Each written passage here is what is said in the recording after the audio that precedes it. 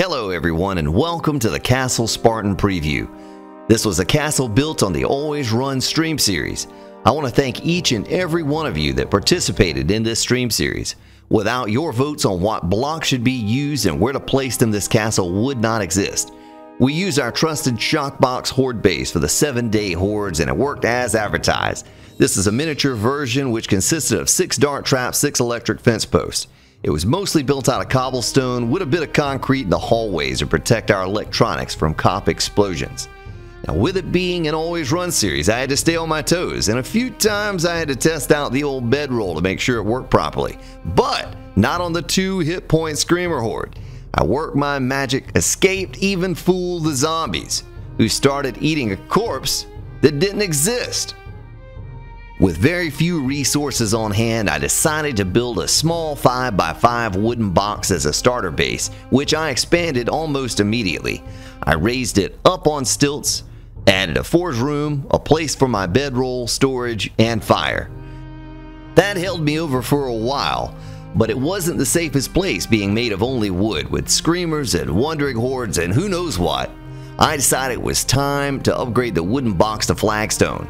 At some point, someone asked, Are you building a castle? And I thought to myself, Why not? Let's build a castle. So the journey began. I built a small keep to house a workbench, forges, and storage. Then I said, if we're going to build a castle, we need to build some castle walls. My vision had a gatehouse with towers on each corner and in the middle of the walls.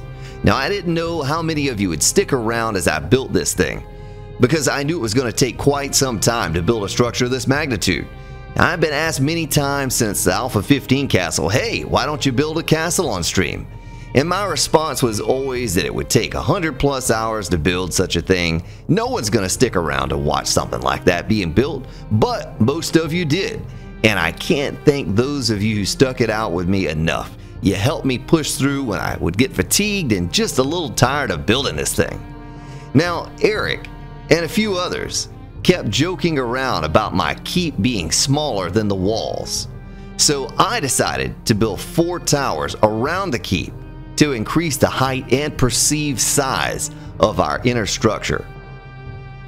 Later on, I would connect those towers to the keep and give myself a way to enter them from within the keep. These towers were the final structures to be built. Now, screamers were always a problem. They kept poking holes in the walls summoning their hordes. So we would have to stop what we were doing, take care of them before we could get back to work. If I had to do it over again, I'd wait until it was all finished before placing the candles. I believe that they kept a constant heat source going to attract the screamers. Thank you so much, ladies and gentlemen, for your support on this series and others. I hope to see each and every one of you in a stream sometime soon. Sit back, Enjoy the music as I take you on a tour of Castle Spartan.